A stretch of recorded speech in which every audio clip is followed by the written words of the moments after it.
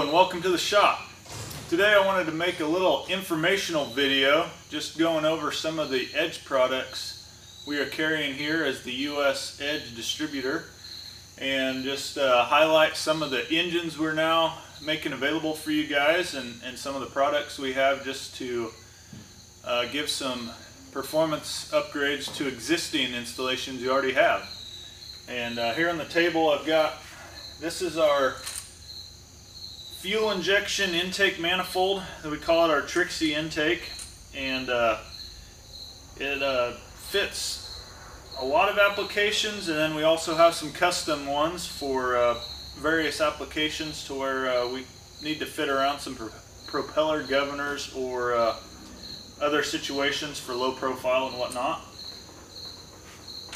Along with that, if you're getting an EFI kit, some of the other things are fuel pressure regulator and our dual fuel pump housing that just come along in the kit to uh, be a part of the kit. Uh, when you get those, everything you need to convert to fuel injection is in, included in the kit except for uh, some panel switches and wiring that we leave up to you as uh, different airplanes have different switches in their panels. We just let you get that to match up what works best for you. Also here is a secondary alternator.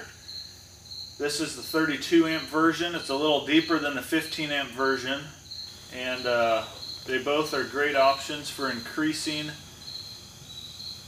power output needed and then also just having a secondary charging option in case of a failure of one. This is the uh, Autotronic ECU that we're using with our systems. It's a light, nice light compact unit. This is uh, our 914 uh, intercooler we just developed. Thomas got this built up to fit in place of a 914 uh, inter, uh, boost tube to give you a little uh, just side package intercooler to get intake temps a little cooler. That also fits under most existing cowlings.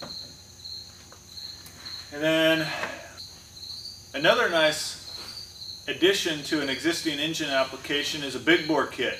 is a very nice way to add some horsepower to your existing engine. Uh, is normally a fairly easy bolt-on application and we can come in some various sizes and compression ratios to fit what needs you have as far as what fuel you want to run, how much horsepower you want to increase. And then we come along to our already built up engines. This sitting on the bench right here is our EP914Ti. It is a fuel injected 914 and we're able to build that up, be a little bit four to six pounds lighter than the uh, Rotax 914 installation. And uh, can be 10 to 15 horsepower more on the top end of what we can actually uh, get power wise out of it. And this has been a this is going to be a great application for guys wanting to uh, do a nice fuel injected turbo application it's going to be a lot cheaper than the 915 and, and uh, 35 pounds lighter. We're, look, we're seeing about 126 horsepower on the engines that we can get a good intercooler in and, and get that intake temp down.